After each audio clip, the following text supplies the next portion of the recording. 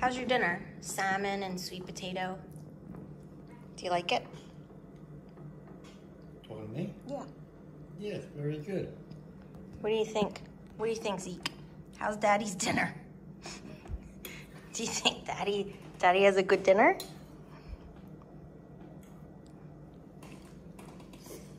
Mmm, it sounds delicious. But you already had your salmon for dinner.